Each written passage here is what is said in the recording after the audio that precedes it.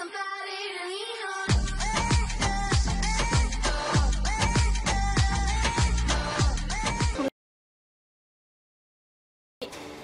tối ngày hôm nay thì Vương Nguyện sẽ giao lưu với anh chị. Thì em vui tin chắc chắn rằng có những anh chị chúng ta sẽ chưa biết những cái thông tin này đâu. Hoặc là có thể anh chị uh, đầu tư nhưng anh chị. Vẫn có một cái gì đấy anh chị vẫn chưa hiểu. Bởi vì uh, ngày hôm nay thì em vui cũng vừa nói chuyện với một nhà đầu tư của mình bản mình thấy mình tưởng là họ đã hiểu rồi nhưng mà đến bây giờ vẫn bảo rằng là ờ bây giờ chị thấy là doanh nghiệp này ờ, làm thật đấy đúng không ạ? À, công ty thật sản phẩm thật đó tất cả mọi thứ đều là thật. Nhưng mà uh, vẫn chị vẫn chưa hiểu rằng là cái đoạn là khi mình đầu tư vào Unicai đúng không ạ?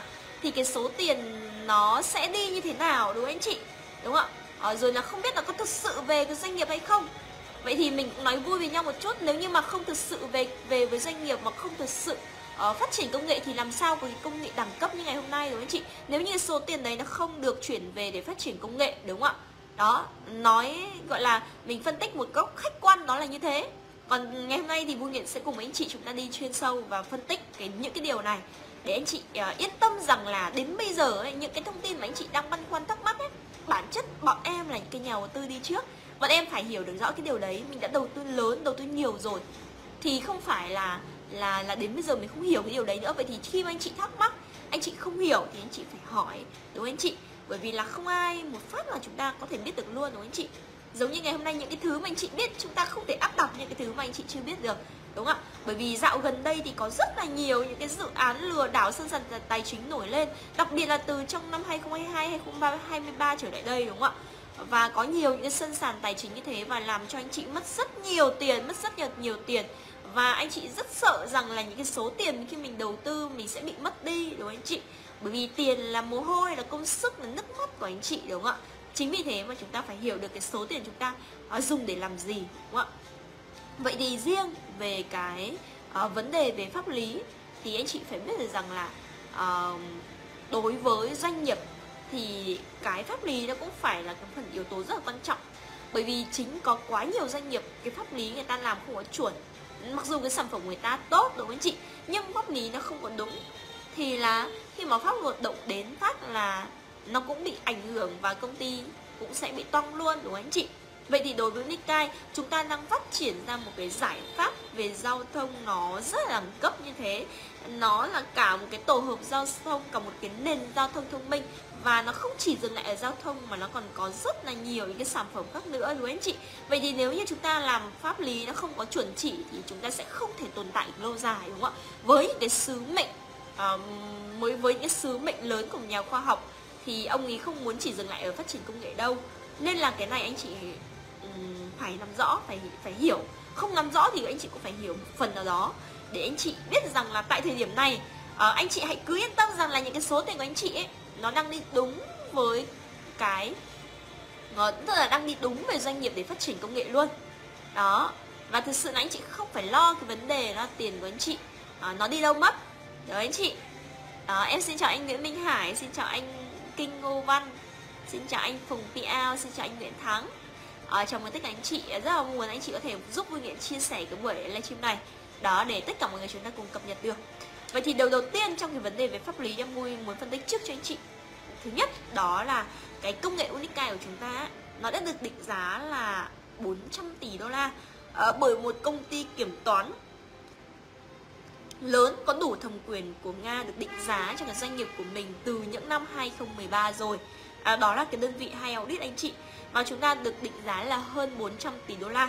À, và à, nó có giấy tờ và nó có cái thông tin hẳn hoi chứ không phải là uh, từ một ai đó nói anh chị. Vậy thì uh, anh chị biết không ạ? Uh, riêng cái sở hữu trí tuệ của chúng ta đã được định giá là hơn 400 hơn 400 tỷ đô la. Uh, giống như ngày hôm nay anh chị có uh, cơ hội anh chị mua một ngôi nhà đúng không anh chị? Thì anh chị mua thêm một ngôi nhà đúng không ạ? Thì cái ngôi nhà của anh chị nó không thể định giá và ngáo giá cho anh chị là 5 tỷ nếu như ngôi nhà đấy chỉ có giá trị hơn 2 tỷ mà anh chị ngáo giá lên 5 tỷ 10 tỷ thì đấy là không chính xác rồi. Bởi vì ngân hàng người ta sẽ phải ờ, định giá ờ, cái tài sản của anh chị, đúng không ạ? Đó, vậy thì công nghệ của chúng ta cũng như thế. Nó, bản chất ban đầu nó chỉ là một cái ờ, nó là một cái sở hữu trí tuệ đã được định giá cái tài sản đó, đúng không ạ? Định giá cái tài sản đó. Và mỗi cổ phần sẽ được định giá là một đô la trên một cổ phần. Và trong suốt quá trình, trong suốt thời gian qua, thì em vui nghĩ rằng là đến tại thời điểm này thì cái công nghệ chúng ta nó sẽ không ở lại giá trị tài sản chúng ta đã tạo ra quá là nhiều những cái tài sản khác nữa rồi. Thì nó sẽ không chỉ dừng lại ở một đô đâu. Em vui nghĩ rằng nó đã tăng lên rồi bởi vì tài sản chúng ta đã tăng trưởng rất rất lớn đúng không ạ? Và trong xuyên suốt cái quá trình thời gian qua thì cổ đông của chúng ta từ hai cuối 2014 đầu 2015 cho tới nay thì chúng ta đang đều đang góp vốn vào cái công nghệ này. À, thông qua cái quỹ huy động vốn của tập đoàn đó là crowdfunding đúng không anh chị? Vậy thì anh chị hình dung ấy uh, ngày hôm nay em muốn nói rõ với anh chị một điều rằng hiện tại thì công nghệ chúng ta đang được đầu tư góp vốn theo hình thức crowdfunding là huy động vốn cộng đồng. Đó. Ở chúng ta đầu tư theo hình thức huy động vốn cộng đồng đầu tư trực tiếp thông qua quỹ của doanh nghiệp chứ không thông qua bất kỳ một cá nhân hay tổ chức nào cả. Đó. Và anh chị biết không ạ? Anh chị có hiểu về crowdfunding không ạ? Nhiều anh chị cứ hỏi rằng là Unikai có văn phòng ở tại Việt Nam hay không?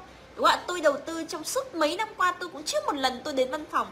Tôi cũng không biết là nó sẽ hoạt động như thế nào. Đúng anh chị, trong khi đó thông tin chia sẻ suốt ngày như thế anh chị không cập nhật. Anh chị không cập nhật xong anh chị không hiểu xong anh chị bảo rằng là à, tôi không biết là à, tôi đầu tư cũng nhiều tỷ vào đây rồi đúng không ạ? Hay là một vài triệu cổ phần hay là một triệu hay vài chục nghìn cổ phần. Nhưng tôi không biết rằng là ừ thì công ty thật đấy đúng không? Ạ công ty thật đấy, sản phẩm thật đấy, con tàu thật đấy, đi thật đấy. Nhưng tôi không biết là tiền của tôi đầu tư vào cái cái cái quỹ đấy nó như thế nào. Nó đến công ty như thế nào, đúng không anh chị? Mặc dù mình đã phân tích, chia sẻ rất nhiều, nhưng anh chị, quá là là không có trân trọng cái khoản đầu tư của mình. Thông tin thì không nghe, đúng không anh chị? Vậy thì crowdfunding anh chị đã hiểu crowdfunding là gì chưa ạ? Ngày hôm nay anh chị không hiểu gì, anh chị lên google anh chị gọi crowdfunding, đúng không anh chị? Crowdfunding là huy động vốn cộng đồng mà em ngày hôm nay cũng chia sẻ anh chị một điều rằng đó là chúng ta sẽ không có bất kỳ một văn phòng đại diện ở bất kỳ một quốc gia nào trên thế giới chứ không phải ở vì riêng Việt Nam đâu. Vì chúng ta đầu tư vào doanh nghiệp của quốc tế, là pháp luật quốc tế sẽ bảo vệ anh chị. Chứ không phải là Việt Nam làm gì có cái cái trách nhiệm gì, không có quyền, không có một cái cái cái quyền gì để mình có thể đứng ra làm cái điều đấy anh chị. Bởi vì chúng ta đang đầu tư vào doanh nghiệp quốc tế mà. Gần 200 quốc gia người đang đầu tư vào đây mà và chúng ta đầu tư theo hình thức là crowdfunding là huy động vốn cộng đồng là tất cả mọi nhà đầu tư trên toàn thế giới này chúng ta sẽ đầu tư thông qua cái quỹ của tập đoàn. Đầu tư trực tiếp thông qua quỹ trên internet chứ không thông qua bất kỳ một cá nhân hay tổ chức nào cả. Nên là anh chị cũng bao đừng bao giờ nghĩ mong cầu rằng là mình sẽ uh, sẽ đến văn phòng đại diện của công ty ở tại Việt Nam đâu. Bởi vì bản chất crowdfunding nó đâu có cái việc đó là chúng ta phải mở văn phòng đâu. Đúng không ạ? Crowdfunding là chúng ta uh, người ta người ta, chúng ta sẽ tìm hiểu một cái dự án ở đấy thông qua internet. Đó, và chúng ta sẽ góp vốn trực tiếp vào cái ờ, cái cái crowdfunding đó và không thông qua bất kỳ một cá nhân hay tổ chức nào cả. Anh chị hiểu chưa đó. Vậy thì ờ, khi mà chúng ta đầu tư thông qua cái quỹ đấy, đúng không ạ? Thì cái quỹ đấy, làm sao để chúng ta biết cái quỹ đấy là chuẩn của anh chị? Làm sao chúng ta biết đấy cái quỹ đấy là cái quỹ huy động vốn cho tập đoàn?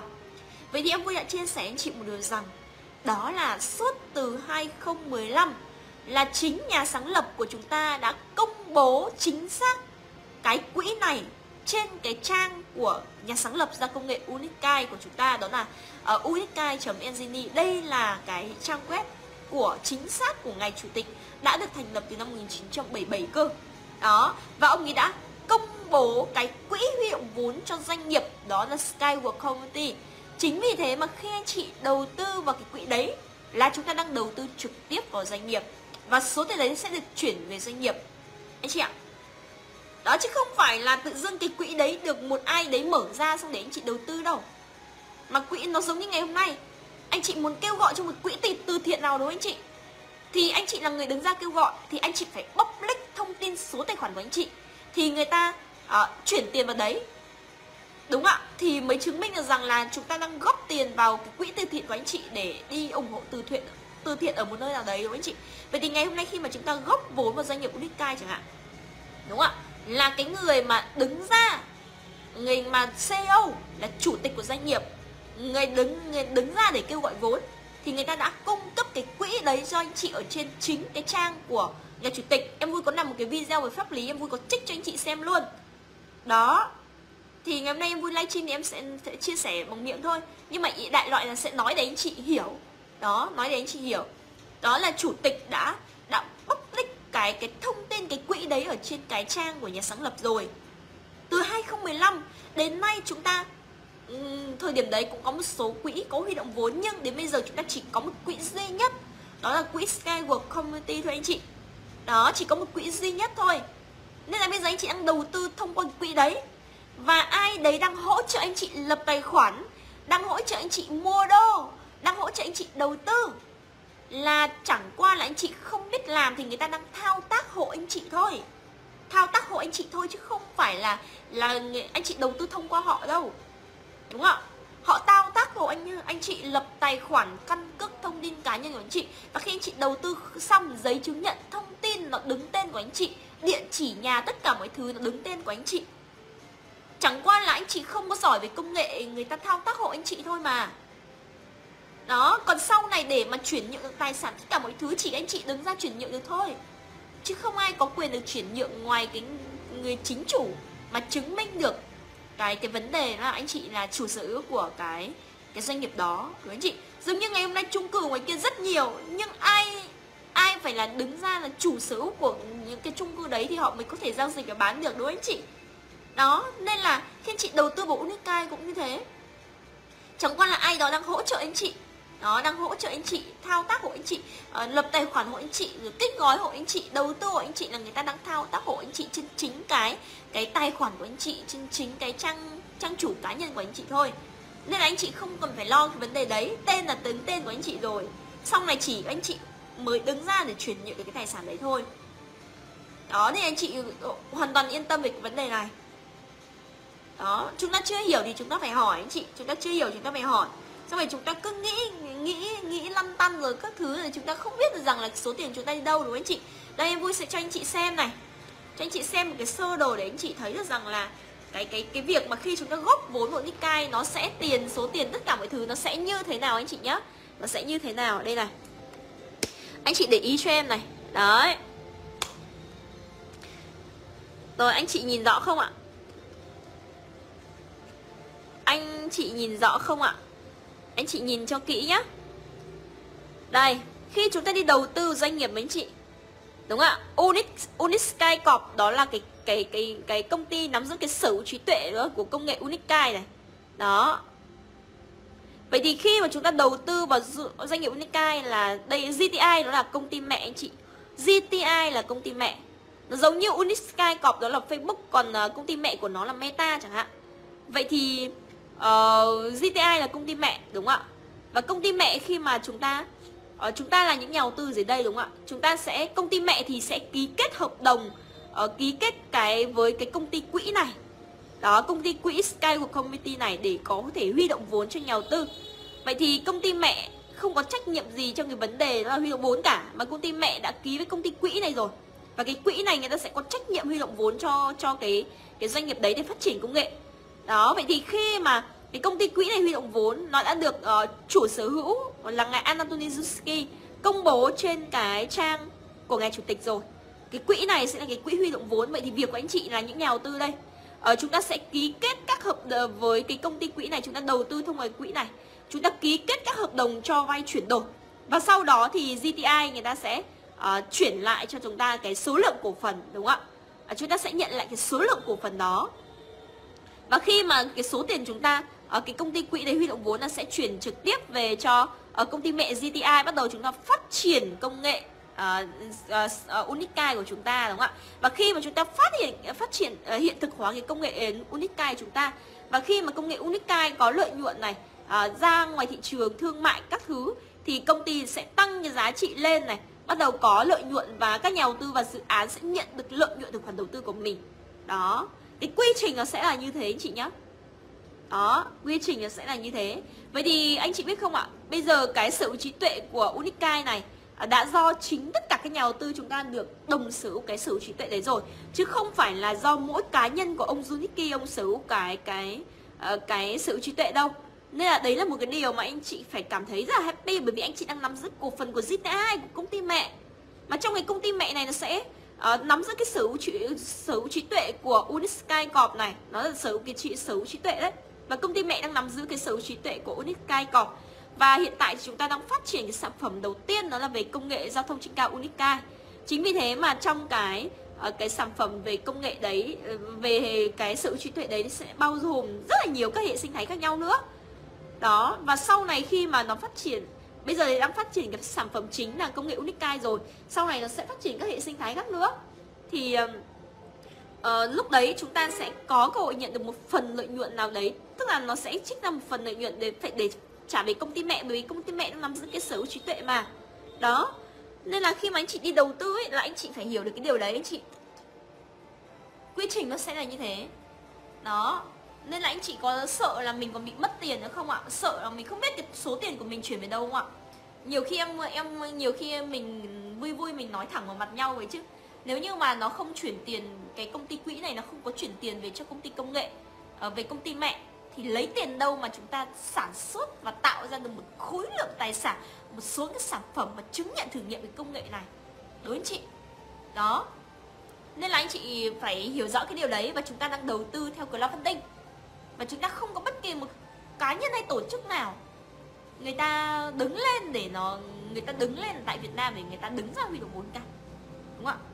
Mà chúng ta sẽ đầu tư thông qua quỹ đấy. Anh chị ừ, phải hiểu về crowdfunding nhé. Crowdfunding là một trong số cái hình thức huy động vốn cộng đồng đấy anh chị. Và nó sẽ không có bất kỳ một uh, uh, nó nó sẽ không có cái cái nhiệm vụ là mở ra các uh, các văn phòng đại diện ở các quốc gia trên toàn thế giới đâu. Đó. Nên là đôi khi anh chị không hiểu mà anh chị cũng không hỏi thì cũng không biết là làm sao để hỗ trợ anh chị luôn em xin chào chị Nguyễn Mỹ tỷ phú sĩ tỷ phú đại gia Nam Định. Em xin chào anh Sư Hoàng xin chào anh Trần Văn Hoàng. Anh Lương Quang khởi đầu 2024 anh đầu tư. Vâng. Ra thì uh, anh chị uh, xác định là đến bây giờ anh chị đầu tư vào đây ấy, khẳng định với anh chị một điều rằng là cái số tiền anh chị đầu tư vào đây uh, sẽ không bị uh, mất tiền đâu anh chị. Đó. Nhiều khi chúng ta cứ nói vui với nhau chứ nhiều khi chúng ta đầu tư có vài một vài triệu hay một vài chục nghìn cổ phần hay một vài chục hay vài trăm nghìn cổ phần đúng không ạ? À, nó cũng không đáng là bao nhiêu đâu. Còn có những nhà đầu tư họ đầu tư rất lớn họ đầu tư rất lớn vào công nghệ này. Những cái vấn đề mà anh chị băn khoăn ấy, bản chất người ta phải giải đáp được rồi người ta mới dám đầu tư lớn như thế. Vậy thì khi anh chị uh, mong muốn được đầu tư lớn anh chị mong muốn được hiểu rõ về cái vấn đề này anh chị phải hỏi thì mới có câu trả lời đúng không anh chị? Nếu như anh chị không hỏi thì anh chị sẽ không biết đúng không ạ? Đó giống như có nhiều người đầu tư xong mà tôi thấy công nghệ thật đấy. À, tất cả mọi thứ đều thật đấy nhưng mà chúng ta đang đầu tư thông cái quỹ đấy thì nó sẽ như thế nào đúng không anh chị? Đó vì cái quỹ đấy là cái quỹ mà chính nhà chính ngài chủ tịch của chúng ta ờ, đứng ra để công bố cái quỹ huy động vốn mà chúng ta đang đầu tư trực tiếp vào của anh chị? Đó nên là ngày hôm nay em vui đang hỗ trợ anh chị. Hay là một ai đó đang hỗ trợ anh chị? Uh, lấp tài khoản này ờ, mua đô đầu tư này.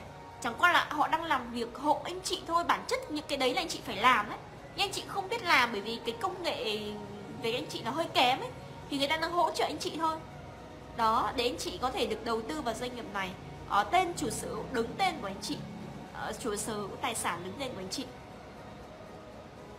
Ở chị Xuân Mỹ có hỏi rằng khi mình nhận cổ tức hoặc là tiền lời thì mình sẽ nhận bằng cách nào? Em đúng không ạ? Ờ, cái tài khoản của anh chị anh, anh chị dung ấy nó nó không khác nó cũng không khác gì cái tài khoản ngân hàng của anh chị cả. Và trong cái tài khoản cá nhân của anh chị anh chị có thể vào đấy anh chị theo dõi thông tin tất cả mọi thứ bình thường đúng không ạ? Và khi nào công ty có chi trả cổ tức này ờ, có IPO này đến anh chị thì công ty sẽ đều thông báo qua văn phòng cá nhân của anh chị. Đó. Và khi công ty thông báo vậy thì lúc đấy công ty chi trả cổ tức như thế nào? Thì lúc đấy công ty sẽ hướng dẫn đúng không ạ? Ờ, với cá nhân em vui nghĩ rằng thứ nhất nó có thể chi trả cổ tức theo một số cách như sau. Họ có thể trả, trả trực trực tiếp về thẻ visa ngân hàng này hoặc là có thể trả qua uh, chính cái tài khoản văn phòng cá nhân của anh chị và anh chị sẽ thanh khoản đô ra như bình thường đúng không ạ? Giống như anh chị mua đô vào như thế nào thì chúng ta lại thanh khoản ra như thế. Đó rất dễ luôn. Bởi vì là uh, cái tài khoản chúng ta có liên kết có gần 20 cổng nạp rút tiền cơ mà nên anh chị hoàn toàn yên tâm đó anh chị có visa thì anh chị rút về visa anh chị có các sàn giao dịch tiền tử về Binance hay các sàn sàn khác thì anh chị có thể rút về đấy. Đúng không anh chị? Anh Minh Hải Em vui ơi anh đang bận hôm nào anh xem lại nha. Dạ vâng ok anh rất là ok anh. Em cảm ơn chị Hồng Tươi rất là nhiều. Đó anh chị ạ. Đấy, cái điều đầu tiên là là cái về cái vấn đề là văn phòng đại diện hay là cái gì ở tại Việt Nam là uh, riêng không có một nơi nào có chứ không phải là ở Việt Nam đâu đúng không ạ? Còn ở Việt Nam có các câu lạc bộ yêu công nghệ thì nó là những cái nhà đầu tư tâm huyết người ta yêu thích công nghệ này đúng không ạ? Người ta mở ra một cái nơi để người ta có thể đến người ta giao lưu học hỏi và tìm hiểu thêm cái công nghệ Unicai thôi đúng không ạ? Chứ công ty thì hiện tại là chưa có văn phòng đại diện ở bất kỳ quốc gia nào trên thế giới đó chứ không phải riêng ở Việt Nam. Và chúng ta đang đầu tư trên uh, thông qua internet và chúng ta thông qua crowdfunding chúng ta góp vốn trực tiếp thông qua internet. Đó và số tiền này đã được chuyển về chính xác doanh nghiệp và phát triển công nghệ. À, rất rõ ràng chi tiết.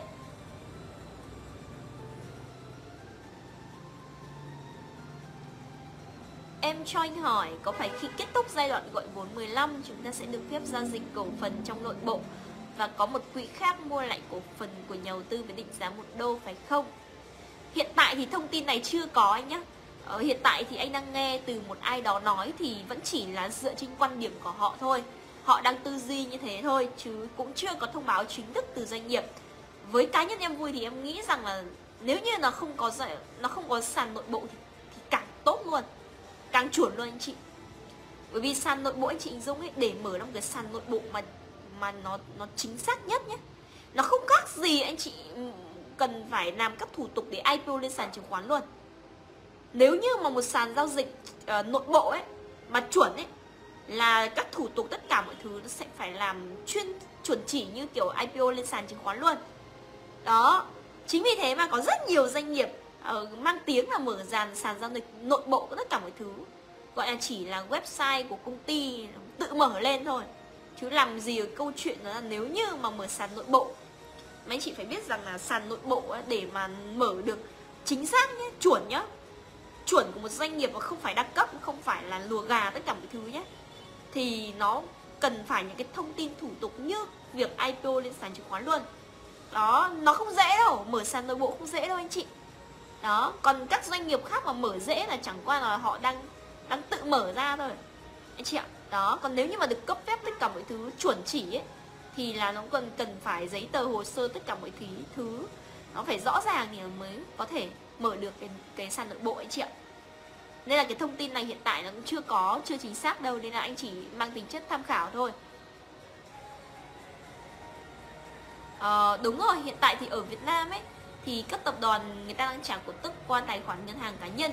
Còn đối với chúng ta chúng ta đang đầu tư vào doanh nghiệp quốc tế mà đúng không chị Nguyễn Như? Đúng không ạ? Chúng ta đang đầu tư vào doanh nghiệp quốc tế. Chính vì thế mà à, hiện tại chúng ta cũng sẽ chưa chưa biết được rằng là công, công ty sẽ trả trực tiếp qua à, thẻ visa qua tài khoản nhân ngân hàng qua visa hay là qua cái văn phòng cá nhân của mình đúng không ạ? À, bởi vì đến bây giờ còn đối với các doanh nghiệp Việt Nam anh chị đầu tư doanh nghiệp Việt Nam thì người ta trả trực tiếp về tài khoản ngân hàng là đúng rồi. Còn đây anh chị đang đầu tư vào doanh nghiệp quốc tế đúng không ạ? Đồng tiền chung là đồng tiền đô la mà đúng không ạ? Đồng tiền chung là đồng tiền đô la. Vậy thì chúng ta cũng sẽ chưa biết được rằng doanh nghiệp sẽ ờ, trả về tài khoản hay là trả qua thẻ ngân visa ngân hàng thì lúc đấy thông tin công ty trả như thế nào thì lúc đấy uh, mình sẽ uh, mình sẽ biết đúng anh chị? Đó xin chào chú nông sủi xin chào chị uh, hoa đinh xin chào anh triệu ninh. Rồi tiếp theo thông tin tiếp theo này anh chị. Uh, đó là cái vấn đề về kiểm toán của anh chị? Đúng không ạ? Kiểm toán thì chúng ta đang được kiểm toán bởi đơn vị kiểm toán quốc tế BDO Tức là anh chị phải biết là suốt từ 2014, 15 cho đến nay thì doanh nghiệp chúng ta liên tục kiểm toán qua các năm. Và từ 2014 thì chúng ta đã có kiểm toán của đơn vị của Nga kiểm toán rồi. Đúng không chị? Tức là anh chị hình dung là chúng ta được kiểm toán độc lập hàng năm. Và từ 2, 2015 cho tới nay thì chúng ta đều có kiểm toán. Và từ 2019 thì chúng ta có kiểm toán quốc tế BDO BDO là cái đơn vị uh, lớn thứ năm trên toàn thế giới kiểm toán cho anh chị kiểm toán cho doanh nghiệp chúng ta. Thì anh chị hoàn toàn yên tâm về về vào cái doanh nghiệp này đúng không ạ? Kiểm toán rõ ràng minh bạch tất cả mọi thứ minh bạch. Và doanh nghiệp chúng ta đã được uh, uh, cấp mã định dạng chứng khoán ISIN ISIN là cái đơn vị mà um, cấp mã định danh chứng khoán cho các tập đoàn lớn như Microsoft này, Apple, Amazon, Google, uh, BNW này, đúng không ạ? Và doanh nghiệp của chúng ta cũng được cấp mã định dạng chứng khoán từ 20 uh, ờ, từ 2014 cho tới nay rồi. Và mã chứng khoán chúng ta là VGG 322 291094. Tức là anh chị phải hiểu rõ một điều rằng là khi mà chúng ta lên sàn là chúng ta sẽ ờ, IPO và giao dịch theo cái mã định dạng chứng khoán này. Đúng không? Và nếu như anh chị nào có tài khoản của iSIN trên trang chủ của iSIN Anh chị hoàn toàn có thể trích mã này ra để anh chị có thể tìm hiểu về thông tin về doanh nghiệp của mình ở trên sàn chứng khoán đó. Ở, ở trên cái mã trên cái cái ic đó anh chị. Đó rất rõ ràng và minh bạch trong cái vấn đề về pháp lý như thế. Và tiếp theo đó là cái cái đơn vị mà sẽ cấp phép và giám sát cái quá trình gọi vốn cho chúng ta đó chính là Ủy ban Dịch vụ Tài chính BVI BVI FSC anh chị BVI FSC à, ờ, BVI FSC là cái đơn vị mà sẽ ờ, đứng ra để bảo vệ quyền lợi và số tiền của nhà đầu tư khi đầu tư vào Unisky để đảm bảo cho nhà đầu tư không bị mất tiền. Đấy anh chị và BVI FSC nó giống như là trọng tài là cơ quan có đủ thẩm quyền để đứng giữa uh, để giữa đứng giữa để quản lý về cái giá trị tài sản của Unisky khi có nhà đầu tư tham gia. Đúng anh chị tức là khi anh chị đầu tư vào doanh nghiệp đúng không ạ? Và anh chị khi mà chị anh chị đầu tư xong là anh chị sẽ có cái giấy chứng nhận cổ phần của anh chị? À, và giấy chứng nhận cổ phần này nó sẽ không khác gì là cái sổ đỏ của anh chị và khi anh chị có cái giấy chứng nhận cổ phần này đúng không ạ? Thì trên cái giấy chứng nhận cổ phần đó thì nó có cái con dấu của ủy ban dịch vụ uh, tài chính BVI FSC thì đây là cái đơn vị mà sẽ đứng ra để cấp phép và giám sát cái quá trình gọi vốn và huy động vốn của tập đoàn công nghệ Unicai. Đồng thời cũng sẽ là cái cơ quan quốc tế bảo vệ quyền lợi cho nhà đầu tư trên khắp thế giới. Vậy thì uh, đơn vị này đã có thâm niên rất là nhiều năm. Ờ, trong cái vấn đề về theo dõi giám sát cái quá trình gọi vốn và huy động vốn và ngăn chặn uh, những cái bọn tài chính mà lạm dụng uh, thị trường hay là lừa đảo ấy anh chị. Đó nên là người ta sẽ um, có cái đơn vị một trong số cái chính phủ rất là rất là giá trị tức là một trong số cái chính phủ mà rất là uy tín đấy chị là cái đơn vị thuộc ủy ban dịch vụ tài chính của quần đảo vinh Vingin thuộc Anh đấy anh chị là cái cơ quan chính phủ của nước, nước Anh giống như ở Việt Nam thì chúng ta có bộ công thương cấp phép và giám sát cho các doanh nghiệp đúng không anh chị? Thì ở quốc tế hay là ở Anh thì BVIFSC chính là cái đơn vị mà sẽ cấp phép cấp phép và giám sát cho cái doanh nghiệp đó. Đó nên là cái cái quá trình mà anh chị đầu tư vào đây nó rất là rõ ràng minh bạch về pháp lý anh chị. Nên anh chị hoàn toàn yên tâm. Đó chỉ sợ là anh chị không xử được nhiều cổ phần thôi. Đúng không ạ. À, chị Trà Lam có bảo rằng là uh, sắp kết thúc chương trình rồi đúng không? À cái chương trình 1 chia 80 ấy chị là đến ngày 31 đến ngày 31 tháng 1 này đến còn ngày mai nữa thôi là chúng ta sẽ kết thúc cái chương trình 1 chia 80 uh, kết thúc cái chương trình 1 chia 80 uh, và em vui nghĩ rằng nó sẽ không gia hạn lần thứ hai nữa đâu. Bởi vì à, chúng ta không à, nhanh thì chúng ta sẽ bỏ lỡ các cơ hội đó. Với cái chiết khấu cao như thế sở hữu cổ phần với chiết khấu cao đối anh chị? Mình phải tận dụng đi. Giai đoạn này ờ, thông tin tất cả mọi thứ đã rõ ràng hết rồi anh chị hãy tận dụng đi. Tận dụng để chúng ta sở hữu cổ phần đi. Một triệu cổ phần có một triệu đô rồi. Nhiều khi mình cứ nghe này ngày người kia nói. Trong khi những cái người mà họ không có tập trung vào một cái thì chúng ta cũng không không ờ, không thể yên tâm bởi cái sự chia sẻ của họ được. Với cá nhân của em vui thì đầu tư xuyên suốt ờ, đến năm nay là năm thứ tư rồi. Ờ, Ở đầu anh chị? Nhưng mà mình vẫn cảm thấy được rằng là À, những cái thông tin mình cập nhật thường xuyên nhưng mà nó vẫn còn quá là nhiều cái giá trị mà những cái thông tin mà mình còn còn chưa thể hiểu hết được đối anh chị. Đó, nên là thành ra là ở khi mà anh chị đầu tư đến bây giờ thông tin về mọi thứ nó quá là nhiều rồi thì chúng ta hãy cập nhật thường xuyên thì anh chị sẽ hiểu được luôn. Còn anh chị để một thời gian quá lâu, anh chị chờ đợi quá lâu xong đó anh chị mới quay lại, tự dưng chúng ta mất đi một khoảng thời gian để chúng ta có được cái thông tin tốt. Ờ, và chúng ta gom cổ phần dần đúng chị? Rõ ràng những anh chị nào chúng ta gom cổ phần liên tục cứ theo các gói trả góp khác nhau thì anh chị đều được sở được rất nhiều cổ phần là như thế anh chị.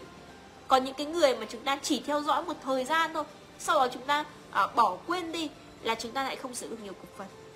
Vì họ không nhận được cái giá trị họ họ họ họ chưa có được cái thông tin họ chưa nắm bắt được cái thông tin giá trị. Đó để họ có thể giữ cổ phần đấy chị. Và ngày hôm nay thì em vui rất mong muốn. Anh chị nào có tiềm lực về tài chính, anh chị hãy ra quyết định đầu tư những gói nhiều cổ phần vào anh chị. 50.000 đô 100.000 đô. Đầu tư theo câu lạc bộ VIP để anh chị có cơ hội sở hữu nhiều cổ phần. Để anh chị không bỏ lỡ cái cơ hội tiềm năng này. Vì chúng ta đã mất quá nhiều năm chúng ta đi làm kinh tế. Ở chúng ta mất rất nhiều năm chúng ta đi học, mất rất nhiều tiền để đi học. Nhưng ra trường thì sao ạ? Với mức thu nhập nó quá là thấp nó còn không đủ để trang trải cuộc sống thì lấy đâu ra mà có thể là làm giàu được đối anh chị. Và minh chứng là từ ngày xưa cho đến nay không ai đi làm thuê một dòng cả. Họ chỉ đến từ cái cái việc đó là họ đầu tư kinh doanh thôi. Vậy thì anh chị không giỏi kinh doanh, số tiền không nhiều, kinh nghiệm kiến thức không có, vận hành cũng không biết, thì chúng ta đầu tư vào doanh nghiệp là cách ngắn nhất để giúp cho anh chị. Vẫn làm chủ, vẫn sở cổ phần doanh nghiệp. Đúng không ạ? Ờ, vẫn làm chủ mà vẫn thành công. Đặc biệt là thành công rất lớn và chúng ta không mất quá nhiều thời gian và cũng không mất quá là nhiều tiền bạc. Chỉ cần chúng ta lựa chọn đúng doanh nghiệp đúng thương vụ anh chị đầu tư thôi. Đúng không? khi anh chị đã biết đến Unicai rồi thì nó sẽ là một cái cơ hội rất lớn để dành tặng cho tất cả anh chị. À, với cái số vốn rất nhỏ 50 đô 100 đô à, 500 đô 1 ngàn đô anh chị vẫn có thể đầu tư được. Hay anh chị có ờ, vài chục nghìn đô vài trăm ngàn đô triệu đô anh chị vẫn có thể đầu tư được đúng không ạ? À, nhưng cái quan trọng nhất là chúng ta đang đầu tư trong giai đoạn cuối cùng này là cái giai đoạn 15 và khả năng rất cao trong 2024 sẽ kết thúc hiệu vốn. Vì 2025 thì người ta chi trả cổ tức rồi vậy thì chắc chắn nó sẽ kết thúc trước để người ta người ta sẽ uh, xem cái số lượng cổ phần. Đối với chị? Vậy thì em vui rất mong muốn là anh chị hãy cho phép mình Ờ, cho phép mình một lần thay đổi một lần thay đổi để chúng ta nắm giữ cái tài sản này đúng không ạ? Một ngàn đô. Ờ, bây giờ anh chị được 80.000 cổ phần. À, anh chị cũng hiểu được cái giá trị tài sản đã được 80.000 đô rồi đối với anh chị. Có rất nhiều người giàu lên nhờ việc nắm giữ cổ phần trước khi IPO à, kể cả những công nhân bảo vệ à, kỹ sư hay là lái xe cũng có tiền cho con đi du học bởi vì người ta sở cổ phần doanh nghiệp thậm chí vui cũng có quen một số anh chị làm việc cho các doanh nghiệp như Coca-Cola này hay là uh, bia Sài Gòn hay là ờ, uh, FPT hay là một số các doanh nghiệp khác. Họ chỉ là công nhân làm việc thôi. Họ được tặng cổ phần nhưng họ không biết họ bán đi họ cũng có một khoản tiền. Đó. Vậy thì nếu như họ nắm giữ thì đến bây giờ cái tài sản của họ cũng tăng trưởng lớn như thế nào? Đúng không anh chị? Không chỉ đơn, đơn giản là tăng trưởng lớn mà họ còn có cái à, dòng tiền đến từ cổ tức nữa. Đó vậy thì anh chị hãy cho phép mình nắm giữ đi. Đến giai đoạn này thì sự là anh chị nếu như anh chị không hiểu nhiều thì với những cái thông tin vui chia sẻ với anh chị thì cũng đủ để anh chị uh, chia sẻ chị uh, những cái thông tin em vui chia sẻ cho chị xuyên suốt trong quá trình thời gian qua cũng đủ để anh chị tự tin đầu tư lấy một gói dù ít dù nhiều cũng phải nắm bắt anh chị. Nếu anh chị không nắm bắt thì anh chị sẽ cảm thấy cực kỳ đáng tiếc và sẽ hối hận bởi vì mình tại thời điểm này mình không ra những quyết định. Đúng anh chị? Đó. 2024 này, hãy tận dụng mọi khả năng. Có cơ hội đầu tư coi VIP là phải đầu tư sớm đi, bởi vì anh chị càng chờ đợi thì những nhà đầu tư cắm mà người ta đầu tư, lúc đấy anh chị sẽ cảm thấy hối hận. Hối hận bởi vì mình đã không đầu tư nhanh. Và thực sự là anh chị hình dung bây giờ một triệu đô ấy, nó là bình thường đấy anh chị. Tức là một triệu đô bây giờ ấy, nó chỉ là hơn 24 khoảng 24 tỷ 25 tỷ thôi bây giờ anh chị phải mục tiêu nghìn tỷ vào đã không thành công rồi thôi mà đã thành công là phải thành công lớn. Đặc biệt là trong giai đoạn cuối cùng này quá quá nhiều thông tin mà anh chị không thành công lớn thì thực sự là sẽ không còn một cái doanh nghiệp nào giúp anh chị uh, thắng lớn như Unicai đâu bởi vì Unicai nó cái sản phẩm quá đẳng cấp rồi. Đó. Vậy thì em vui cũng chỉ mong muốn là giúp cho anh chị chúng ta hãy đầu tư, hãy nắm giữ, hãy sở cổ phần dù ít dù nhiều hãy nắm bắt. Đừng để những cái quyết định của mình tại thời điểm này ở sau này anh chị lại phải hối hận vì những điều như thế. Ờ, và cảm ơn tất cả anh chị rất là nhiều. Đó, anh chị hãy kết nối tất cả những người bạn của mình, ờ, chia sẻ cho họ, họ nắm bắt cơ hội này. Hay là anh chị đang tìm hiểu được những người bạn của mình chia sẻ cũng hãy kết nối lại với họ để sở cổ phần. Hoặc là anh chị mong muốn được hỗ, hỗ trợ từ Bùi Nguyễn và anh chị biết thông qua Bùi Nguyễn anh chị đã theo dõi xuyên suốt thời gian qua rồi mà anh chị vẫn chưa sở hữu cổ phần thì anh chị hãy kết nối với em để em có thể hỗ trợ và cung cấp thêm những cái thông tin cho anh chị để anh chị uh, sở hữu được cổ phần với cái chiết khấu với những cái ưu đãi tốt nhất uh, trong cái giai đoạn này trong cái thời điểm này và trong năm 2024 này. Anh chị nhé uh, ờ, và cảm ơn tất cả anh chị rất là nhiều. Uh, và hẹn gặp lại mọi người trong những cái buổi uh, chia sẻ tiếp theo. Bye bye cả nhà mình. Xin chào nhà mình nhé Đăng ký kênh để xem video mới nhất nhé. Xem chi tiết ở phần mô tả video này.